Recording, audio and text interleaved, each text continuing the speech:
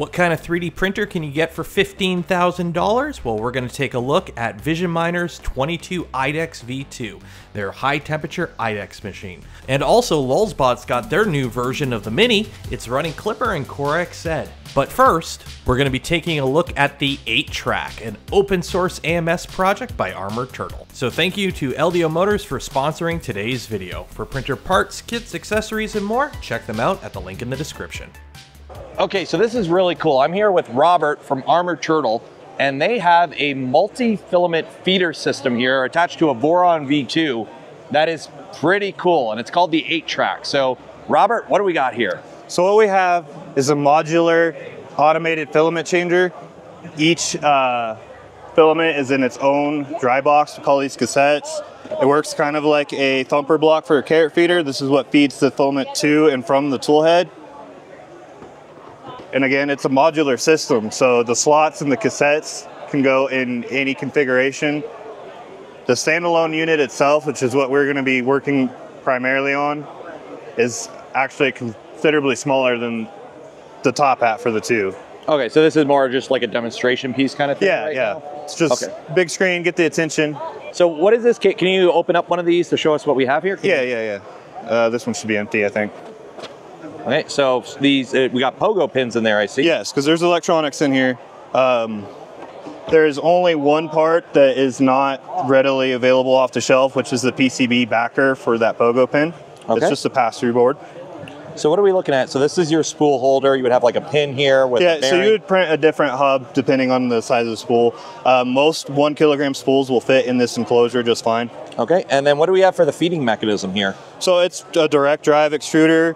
Um, like the thumper block, the servo closes the guidler, which is magnetically repulsed. Okay, so this is basically kind of acting like a uh, almost like the Bambu AMS system. So this is feeding filament to the tool head, and then the tool head grabs it and takes over, kind of thing. Yes, exactly. Okay, but this is it's the eight track. You have this set up for eight right now. Yeah, but it's modular. If you only wanted two or if you wanted 24, you could do that. Um, another thing is it is completely self-calibrating. There's an array of filament sensors. There's no encoders. So it just does blind checks on where the filament is all the way up to the tool head. Uh, any Klipper printer can use it. The only thing is you need a filament sensor in the tool head or near it. The only value that we have plugged into the firmware for it is the distance between that filament sensor and the nozzle. Okay, awesome. And does it have a respooling feature when it's unloading the filament? Uh, so right now we're just kind of banking on constraining the spool kind of tightly. We can go about 12 feet before we get a tangle. Okay. We're not going nearly that far. Okay, so by constraining the filament here when it unwinds, it just kind of spools back up automatically Yeah. on its own? Okay. That means you, you would have to print different holders for different size spools to be the most optimal, or like so you don't get tangles as frequently? Um, Most spools are about 200 or 201 millimeters. Both of those work. Um, it's a parametric system and it's modular. So if you wanted to do bigger spools with bigger slots, you could do that. Okay. Uh, something I find very important about this system is there's no filament cutter. okay. And we're also not doing any filament ramming, so we're not making a ball so that everything stays free. What actually happens is we take it out of the heat break slowly. And what that does is make that ugly little string that I'm sure you're aware of. yes. And in the back of the printer, this, we call this the octafunnel. That's where it takes the eight to one. Okay. There's a print in place door that when the filament comes back into that, if you're feeding that color again, it folds it over in our purge tower. It will take care of burning that out of the hot end. So by the time you're actually printing again, you have gone back to constant diameter filament. oh, okay, okay. So Awesome. that takes care of your variance there.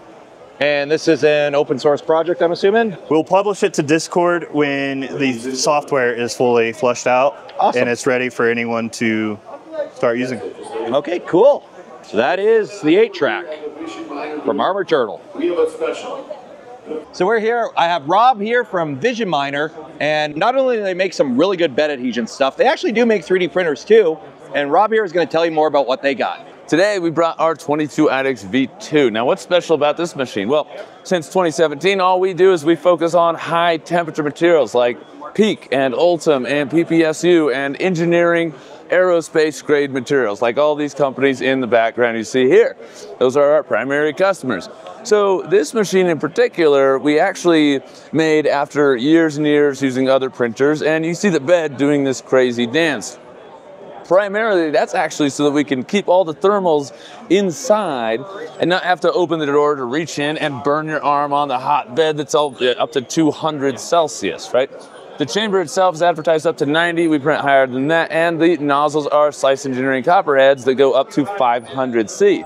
As you can see here, it's an IDEX machine. Now, this enables you obviously to use soluble supports, different support materials, multi-materials, but mainly for the production environment, it allows you to print two parts at the same time in either duplicate mode or mirror mode. So it's almost like buying two printers in one for the businesses that we serve. Now, the bed, this articulation is also good for something else, and that is five-axis printing. So you get multi-axis printing, and you can print a 90 degree overhang with this much articulation using no support material.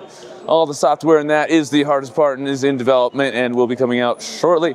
Uh, but for right now, it's a really good leveling system and future-proof for five axis. Yeah, that's something a lot of companies have been working on is, Yeah. is that five axis, the rotating beds. Tons of it's people. the software. You can't just throw a benchy at a slicer and it'll spit out Exactly. It's so, all software. so one day, one day. Yep. But it's nice to have the ability for when that does come, you're ready to rock with. Right. Now, why are we showing this off at Rocky Mountain Rep Rap Festival? We're business to business, not really the same market. The biggest thing nowadays is if you look at computers in the 70s, it was all for business, but now it's all consumer market. It's dominated. Same with 3D printing. For 30 years, the patents were owned by Stratasys and nobody could do anything. 10, 15 years ago, those expired, and now all the innovation is coming out of the community. So we've got Bondtech LGX extruders, which are the best of the best in the market. Slice Engineering hot ends for that ultra high temp engineering grade materials to keep the thermals really solid. And of course, it's all running on an open source Duet system, so you can modify this to your heart's content. We've actually got companies like Northrop Grumman and these big aerospace companies who are like, hey, we're going to do something with your machine. We need to be able to use it. There's no design here mentality. It's not our own proprietary stuff, so it's over expensive and you're going to buy it from us. We use the best technology that we can find and we give it to our customers. And then if you want, you can change it out too. What boards are, are you running? Duet twos or threes? Uh, Duet 2 is the moment, Duet 3s coming in in the next batch. Awesome. And what is the uh, what is the print volume and capabilities? So we're running a 350 by 350 millimeter bed up to 450 millimeters tall. So it's about 14 by 14 by 17 inches. Okay. And is it all NEMA 17 steppers and Uh, so it's actually LDO motors and they're 180 Celsius uh, resistant motors. So Oh, nice. most of the motors are out of the chamber. The only two motors in the chamber are the extruder motors. So it's overbuilt. There's eight motors in this machine running everything, three on the Z, four on the X and the Y, and two on the extruders. awesome. One other thing too uh, is up here. You'll notice we don't use a bunch of proprietary connectors. We've got these Phoenix Connections uh, terminal blocks, so that you can literally, if you want to slap a laser on it, you can. If you want to modify it to your heart's content, you don't have to worry about finding the right connectors. Awesome. Yeah. And of course, you got a big fat red e-stop down here, which is always good to see. That is the Vision Miner 22 IDEX V2 from Vision Miner. Not just bed adhesion. Not just bed adhesion. We also do 3D scanning and uh, reverse engineering. So, you know, the professional grade 3D scanners. There's hobbyist grade and whatnot that are great for certain projects, but really when it comes to professionals, you get into the infrared, the full color, the blue laser, and we have a ton of videos on our YouTube channel about Awesome. those, education, etc. Super fun. And you can find out more at visionminer.com. VisionMiner.com. Awesome. Thank you. Sweet, you got it. Hello, so we're here with Brian from Lulzbot, and they have their new printer, the Mini 3, here on display. And Brian here is going to tell you more about it. Yeah. Yeah, so as you said, um, latest and greatest Mini 3 just launched on the website this past week. Um, super excited to step into the world of Klipper. Uh, it was a big hurdle to kind of get over the scariness of consumer level Klipper stuff. So worked a lot with different developers. Um, we're running Mainsail, as you can see right here. We skinned a lot of it and kind of made it um, in a little bit simpler terms to match up with our Cura. That way, all the um, wording matches up directly, so the users aren't scared that way. Um, we added in like this here tool head feature. That's not something that normal mainsail has, but we have a very easy swappable tool head system. So three bolts and one wire harness, and you can swap between 175 plastics, two eight or yeah 285. Um, you can swap between nozzles and You're still, everything. you're still like that. rocking the 3 mil filament, eh? Yeah, yeah, we've got a ton of um, consumers that are in the industry that they won't buy anything unless it's 285. So we're not going to block off that part of our sales just Yep. because everyone else wants to do 175. We're going to open up the option. And as you can see, Galaxy Series here, it's wonderful lineup with Bondtech and Slice Engineering, two great manufacturers, and we love working with them. So a little bit back to the Mini 3. Um, it now comes with an enclosure, so it's all vacuum formed, nice and easy lift off, drops on, um, super easy. A couple plastic parts that go and cap off some of the sheet metal. Um, running CAN bus on the board, um, and then as you saw before, we're running mainsail interface on it, so it's um, both over line you can upload prints, or else we still have um, USB capabilities that you just drop in the USB and print off those files.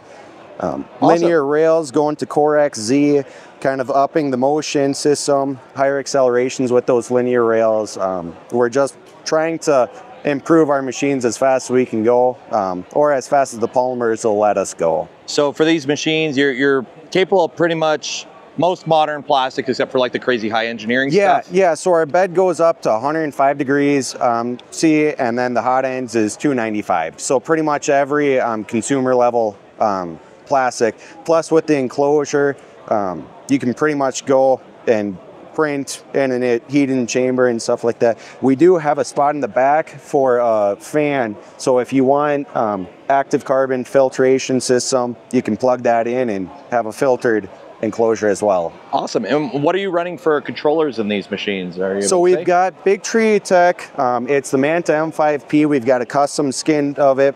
Um, that as well as a E EBB 36 tool headboard on there. And Awesome. then the HDMI 5 by Clip or by Big Tree Tech. And is this running mainline Klipper like latest release Yes. too? Um, so that was another big thing. We didn't want to lock into anything. So we've got all our forks of this version. So we pull in changes, make sure that we can update properly all at once. Um, you're not going to get locked out by not updating one board versus the other. But we're still not locking you into our config files. It's still mainline Klipper. We've got our Lulzbot um, dash config. Um, that's very similar to like mainsail config, where we can upload files to that. You can't touch our file, but you just load whatever into printer.cfg and you override all our settings. Okay, awesome. So, you, you, you basically have like a safety there. Yeah, yeah. It, it kind of comes down to uh, supporting these machines. If if we don't know what you guys are running, it's so tough to support and try to figure out what's going on. So we can just say, save your printer.cfg, go back to the default, see if it works. Okay, is it on our end or is it on your end? And this is the same work volume as the Mini 2?